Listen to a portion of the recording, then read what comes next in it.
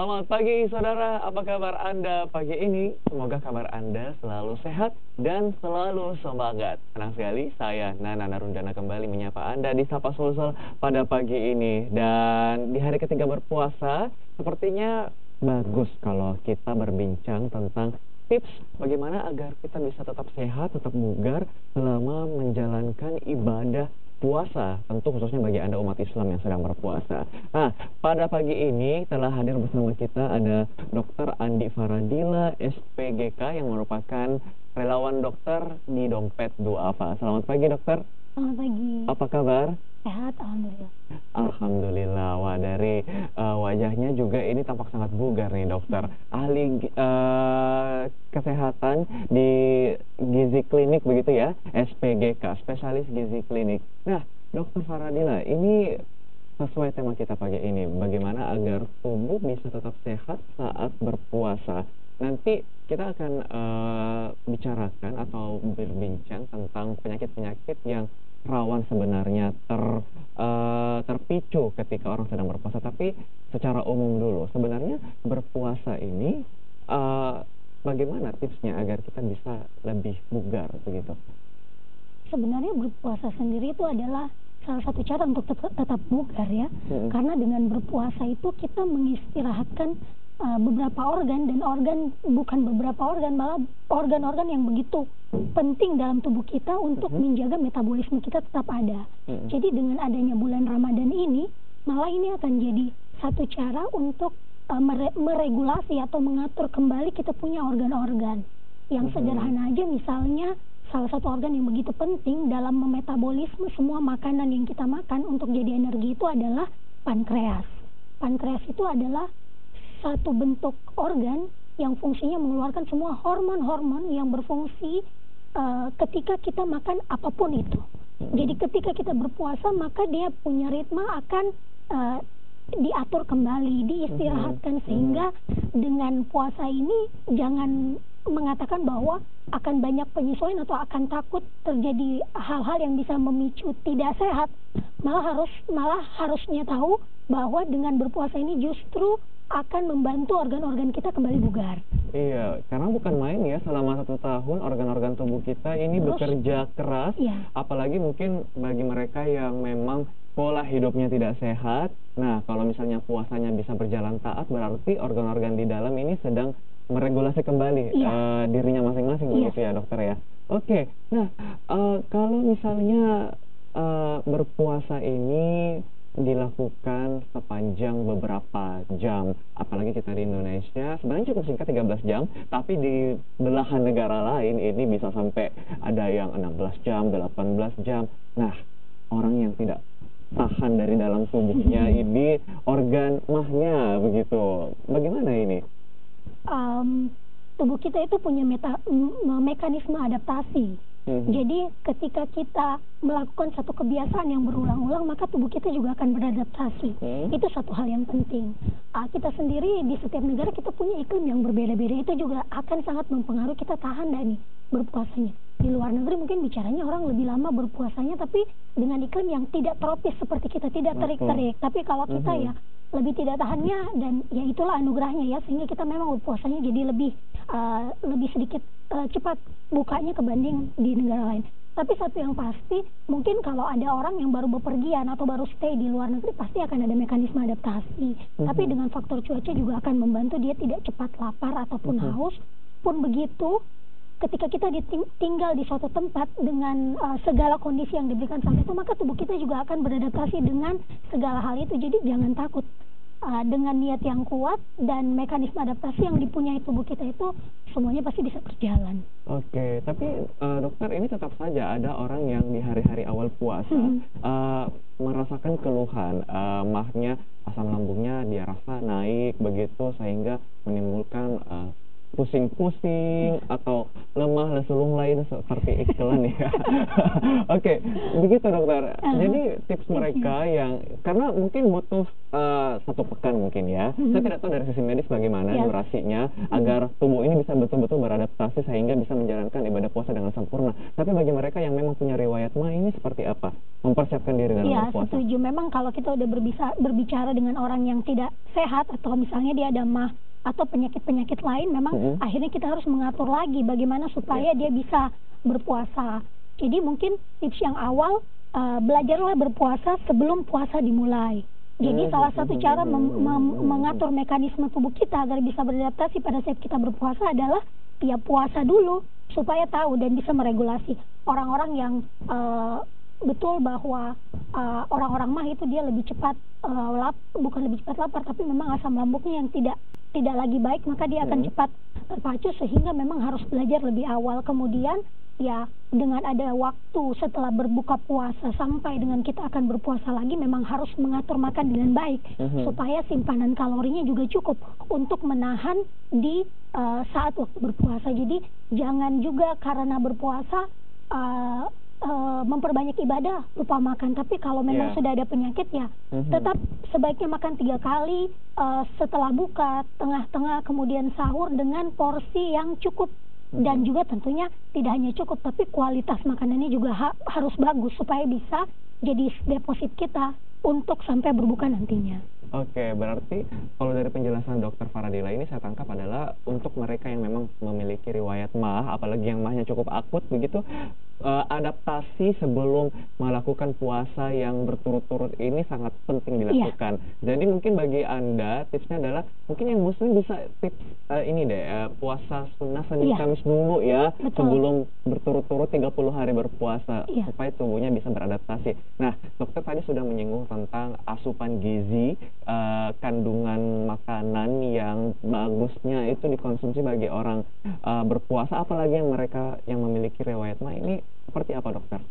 Uh, secara garis besar uh, bulan puasa itu untuk kita utamanya negara muslim semua makanan pasti udah tersedia dari mulai yang sering muncul sampai yang tidak pernah muncul. okay. Ya, Sehingga ya, ya. itu juga harus kita antisipasi karena kadang kita malah malah banyak yang lebih sulit justru hmm. mengatur uh, bagaimana makan yang baik justru pada saat Ramadan karena pada Ramadan itu semua semua kuliner tersedia yeah. sehingga kita memang harus pintar memilah makanan ya yang pasti uh, selalu ada berbukalah dengan yang manis tapi akhirnya yang manis itu didefinisikan berbagai macam yang manis ya mm -hmm. padahal kalau lihat sunnahnya Rasul mereka hanya makan dia uh, Rasul kita hanya konsumsi tiga butir kurma ketika dia berbuka puasa. Tapi kalau kita ya sudah sudah minum sirup-sirup, makan es buah, hmm. makan kue, kue ya dokter ya. Ya, sehingga memang definisi itu juga penting bahwa berbukalah dengan yang manis, yang bergizi, yang cukup untuk melanjutkan ke uh, ibadah. Misalnya kita mau pergi taraweh ataupun untuk bekal sebelum kita makan malam setelah kita taraweh. Itu mungkin tips sederhananya buat yang sehat. Namun jika kita memang ada penyakit-penyakit khusus, memang uh, seperti standar-standarnya orang mah yeah. Ya. kalau kita makan yang terlalu uh, merangsang saluran cerna apalagi kalau kita udah tahu bahwa makanan ini memang menstimulasi kita kambuhnya uh, mah kita ya sebaiknya memang tidak dikonsumsi karena itu pasti mm-hmm. akan merusak merusak uh, merusak um, uh, apa uh, saluran karena kita jadi produksi dari asam lambungnya jadi lebih banyak lagi sehingga ya bisa aja dia sakit dan tidak bisa puasa lagi hmm. besok harinya. Oke, okay, berarti memang uh, contoh ideal berbuka dengan yang manis itu seperti buah-buahan. Utamanya lagi kalau mau ikuti sunnah Rasul itu adalah buah kurma ya, begitu. Nah, tradisi kita nih dokter, orang Indonesia ataupun orang Makassar apalagi harus ada es buah kalau buka puasa. Itu bagaimana nih uh, berbuka dengan meminum es buah? Sebenarnya tepat karena kan uh, buka uh, uh, pada saat kita berpuasa itu kita akan mengalami penurunan gula darah. Jadi yeah. makanya dibilang pusing-pusing, hipoglikemi, kekurangan gula itu semua yang memang kita sering dapatkan. Sehingga pada saat pas berbuka kita memang harus berbuka dengan yang manis. Yeah. Uh, contohnya ya sirup yang kita dapatkan dari uh, es buah tadi ya. Mm -hmm. uh, yang lebih penting sebenarnya minum sirupnya itu berapa banyak. Nah, jadi hmm. harus uh, harus penting tidak hanya apa yang kita makan tapi jumlahnya. Karena jumlah dan jenis makanan itu pasti mempengaruhi uh, uh, mempengaruhi uh, kadar gula kita seperti itu sederhananya. Sehingga kalau makan es buah ya mungkin satu gelas sudah cukup. Atau kalau udah makan es buah jangan mie lagi ditambah dengan kita makan kue-kue uh, misalnya. ya, jadi lebih kepada uh, memilih jenis makanannya juga berapa banyak yang kita makan dari pilihan kita itu. Baik, jadi intinya berbuka puasa dengan yang manis-manis di luar buah-buahan kurma misalnya uh, berbuka dengan es buah itu aman selama pro, uh, pro, proporsional begitu ya. Ini tetap dijaga, diperhitungkan. Kalau misalnya gelas pertama itu aman, kalau mau tambah gelas kedua berarti ini nafsu itu berarti ya. Oke. Okay. Nah, dokter, ini selain es buah ada juga uh, kebiasaan makanan lainnya yang dikonsumsi oleh masyarakat Indonesia. Misalnya gorengan-gorengan. Nah, itu apakah baik atau tidak? Nanti kita bahas ya, dokter ya di segmen kedua, saudara. Tetaplah bersama kami di Sapa Sulsel.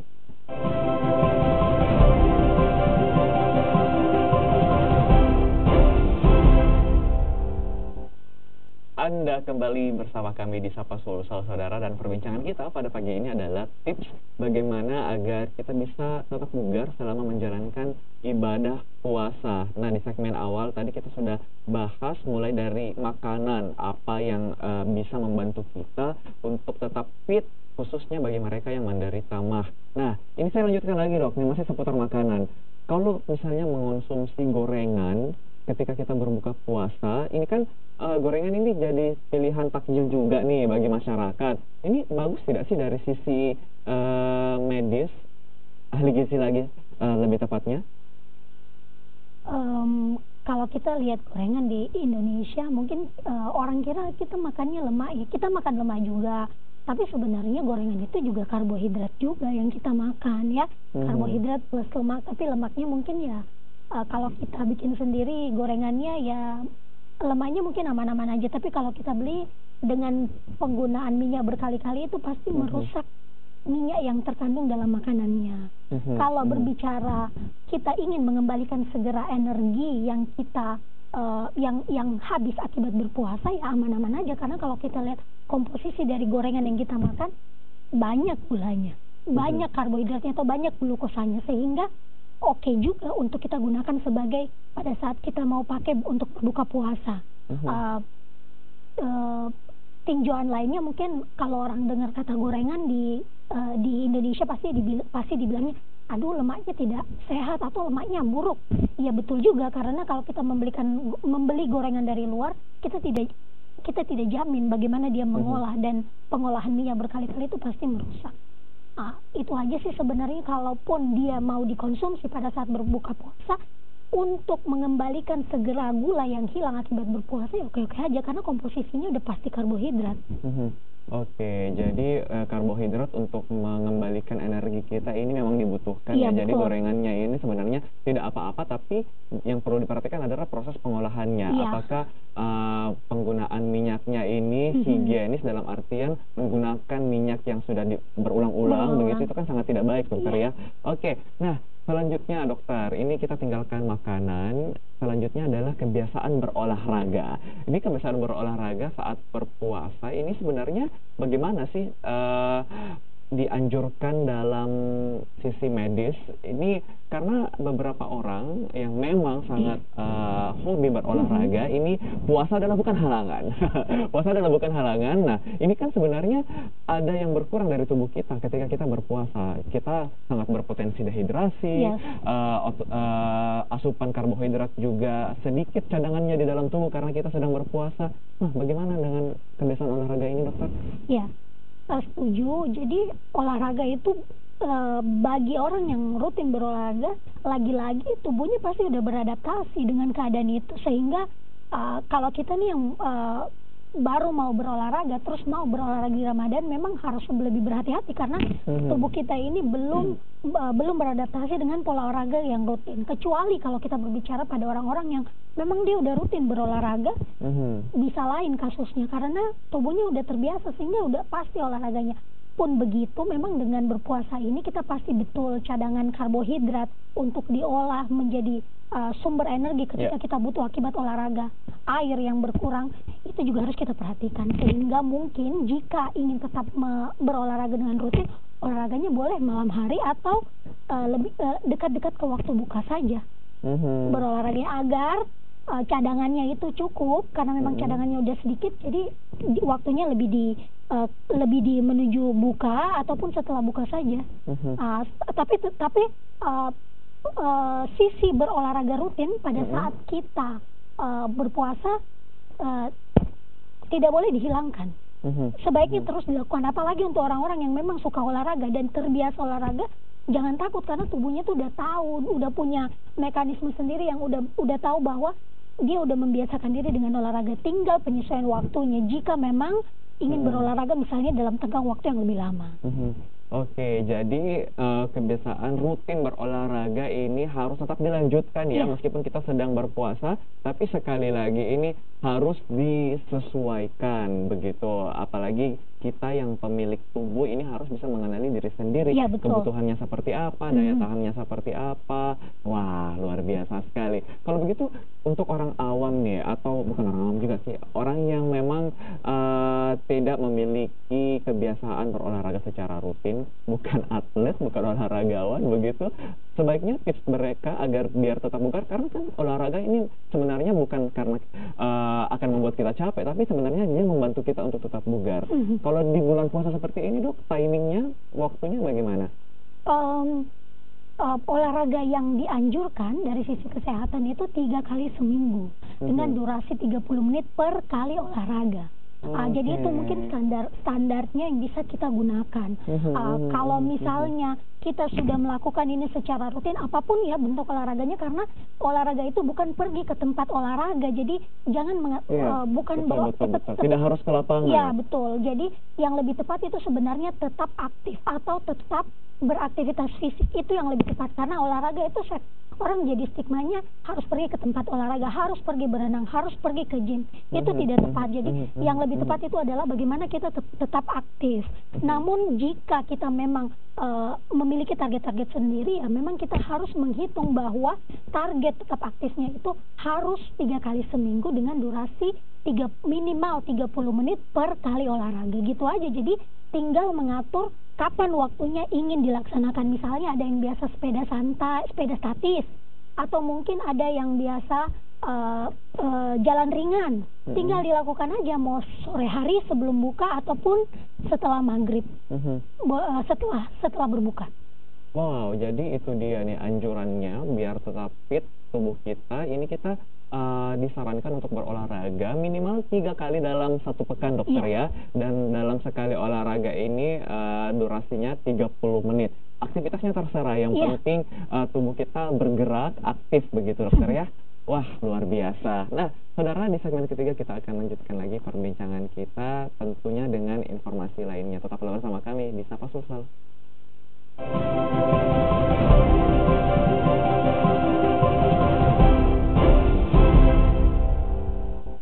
Kasih Anda masih bersama kami di Sapa Sulsel Saudara. Di pagi ini Sapa Sulsel membahas tentang tips bagaimana agar kita bisa tetap fit, tetap bugar saat kita berpuasa.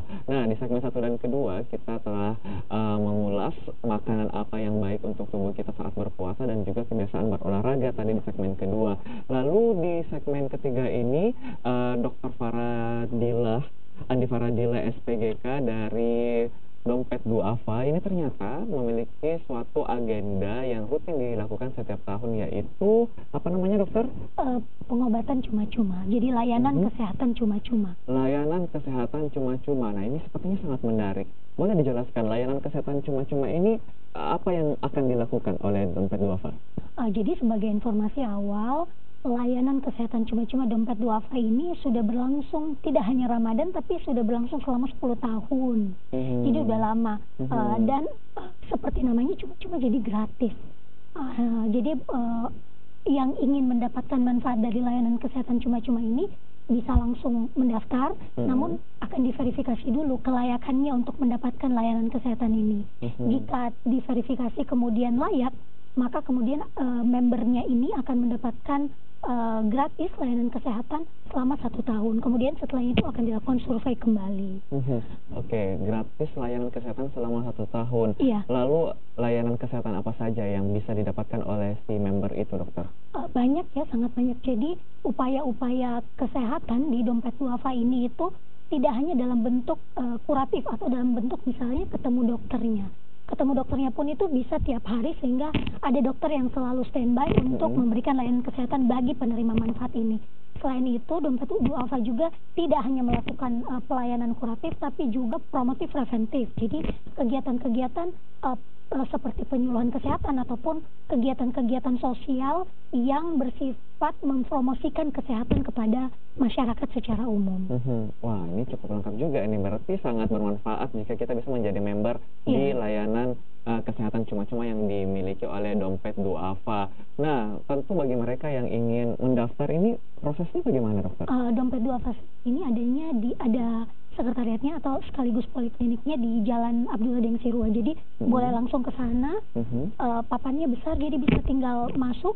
Kemudian nanti jika ingin mendaftar nanti ada persyaratan, kemudian ada survei yang akan dilakukan uh, kepada calon penerima manfaat dan uh, tidak sulit. Uh, insya Allah jika memang layak akan diberikan kemudahan mm -hmm. dan setelah itu bisa menerima manfaatnya. Oke, nah berhubung ini manfaatnya sangat besar sekali dari layanan kesehatan cuma-cuma yang diadakan oleh Dompet Duafa, tentu beberapa masyarakat banyak ini yang uh, berminat tentunya. Boleh dong dikasih tahu sedikit syarat apa saja sih yang uh, ditentukan uh, dari Dompet Duafa agar bisa menjadi member untuk mendapatkan LKCC ini? Uh, ya syaratnya tidak tidak sulit ya tentunya uh, ya syarat-syarat norm, normatif-normatif aja bahwa dia harus warga uh, warga Indonesia dan tentunya bermukim di hmm. Makassar dan sekitarnya. Kemudian juga um, ya kita pasti menilai Baik. bagaimana status ekonominya dan hal-hal okay. yang um, ya hanya bersifat normatif saja. Pokoknya syaratnya adalah mereka yang membutuhkan, ya, karena itu nanti yang, ada survei hmm, yang dilakukan oleh itu tentunya yang paling penting bahwa ketika anda layak maka tentunya akan diberikan manfaat ini. Baik, wah lengkap sekali perbincangan kita pada pagi ini, saudara, uh, terkait dengan bagaimana tips menjaga diri agar bisa tetap bugar saat berpuasa dan juga ada layanan yang sangat bermanfaat dari dompet duafa yaitu layanan kesehatan cuma-cuma. Dan itulah informasi kita yang menjadi penutup di Sapa Sulsel pada pagi ini. Sekali lagi saya ucapkan terima kasih untuk Dr. Andi Faradila SPGK, relawan dokter dari Dompet Duafa yang telah berbagi inspirasi tips kesehatan untuk kita selama berpuasa di bulan Ramadan. Dan saudara mewakili rekan kami yang sudah kami berterima kasih atas perhatian Anda. Selamat pagi, sampai jumpa.